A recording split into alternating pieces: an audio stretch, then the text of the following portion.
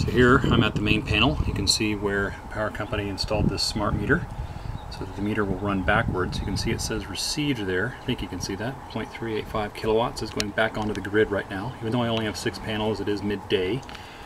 Also show you the warning labels. This is the warning label on the main panel. This is the warning label the Power Company actually installed when they installed the smart meter. Conduit labels, which actually aren't required for AC, only DC, but doesn't hurt. AC disconnect warning label, and then further up here you'll see the junction box warning label. I think you can catch that. Alright, here's my installation about a year and a half afterwards. You can see they're a little bit dusty, which may have impacted my power a little bit, not sure. I'll show you the results here in a bit, where I'm maybe losing a little bit of power over a year and a half. But overall, I haven't had really any major issues with it. One experiment I want to show you here is I'm going to cool one of these panels with some water, and I'll show you what the impact of cooling these things down with temperature, cooling the temperature down does to the actual power generation. So just by cooling one, leaving the other ones as a control, you can see what the impact is. So I've actually got to do this for a while for it to log the data. It only logs once every five seconds. Okay, here is a summary of the power output of the six panel system. You can see the lifetime here at 3.99, so I'm about to cross 4 megawatt hours. At 30 cents per kilowatt hour, the high tier rate in California, this would be $1,200 savings so far for the system, but uh, probably not all of that's in the high tier, so I'm looking at maybe a little over $1,000 saving so far. As you can see, power varies depending on what time of year. In the winter, it starts to get down to only two or three kilowatt hours per day. In the summer, I get over nine. I was actually looking, in the peak for the system was May 22nd, 2013, at 9,787 watt hours, which I have detailed or zoomed in on the next tab.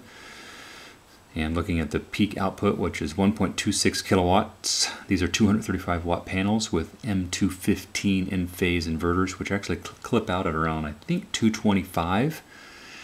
And you can see even in max peak, I'm not reaching that, so no clipping involved. You can see the outer panels are at 213 and 219, and they produce more power than the inner ones, basically because this outer edge on each side is open to free air, so they run a little bit cooler.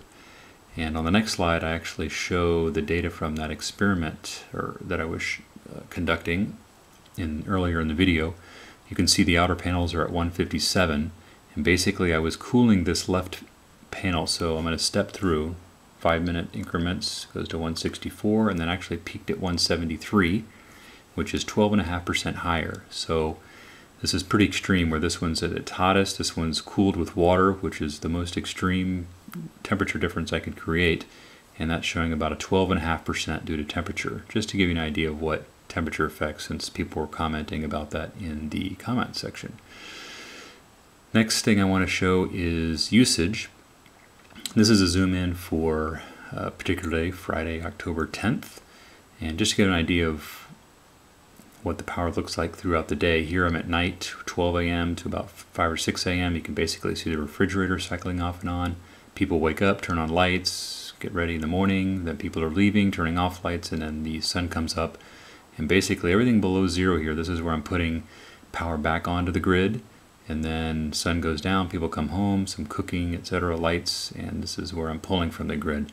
So it's kind of cool. You can zoom in and and basically you know see what's going on with your panels and when it's cloudy of course you don't you don't see this last thing I want to show is the rolling yearly power output for the system I've been trying to figure out how to plot this data to see if I'm losing power output over time basically pulled the raw data off the Enphase website and this is yearly moving average. This is April to April, May to May, June 2013 to 2014, etc., up to September.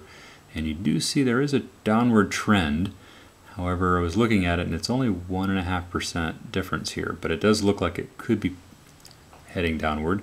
So I'm going to probably as an experiment get up there and clean them real good and see if, if I see any recovery. Um, the panels might just be losing power uh, just, just with age, but 1.5% isn't too bad especially since I haven't really cleaned them or anything since I installed them.